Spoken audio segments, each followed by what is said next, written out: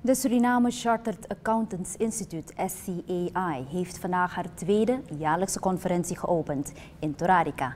Het thema van dit jaar is Global Developments and the Accounting Profession Preparing for the Future.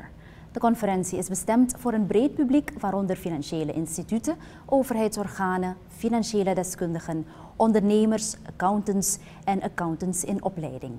De SCAI is ook een forum om van gedachten te wisselen over regelgeving en vaktechnische ontwikkelingen die van invloed zijn op het ondernemerschap, de overheidshuishouding en de financiële sector.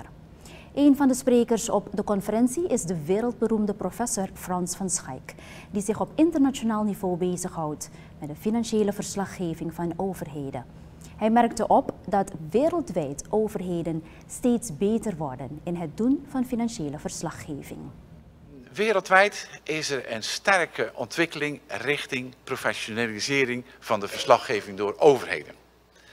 En dat zien we wel aan dit eh, besluit van de, van de G20, dat ze een public sector balance sheet hebben willen hebben. En die moet dus eigenlijk dan ertoe leiden dat de risico's die er in de public eh, sector eh, debt zitten, dat die uh, sustainable zijn.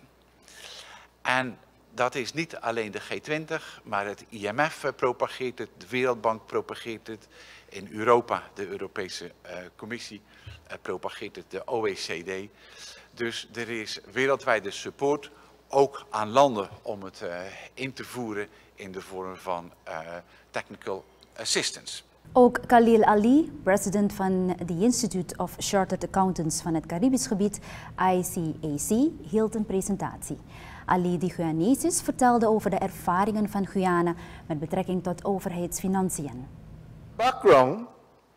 In Guyana, our Companies Act requires all registered companies to produce audited financial statements.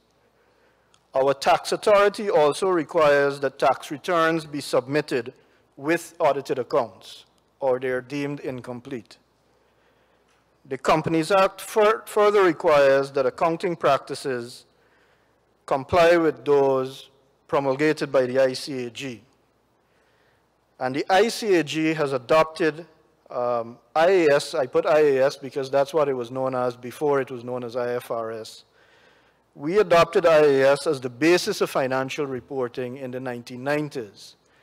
I'm sorry I can't be more specific on that. I was not practicing in the 1990s, and I've gotten different dates from different sources, so I didn't want to put a date up and create some confusion. But certainly it was in the 1990s that we had adopted it, um, so that by the, by the start of the, the new century, we were well entrenched in trying to comply. Khalil Ali, president van het Institute of Chartered Accountants van het Caribisch gebied vandaag bij de opening van de tweede jaarlijkse conferentie van SCAI. De conferentie vindt plaats in Torarica en wordt morgen afgesloten.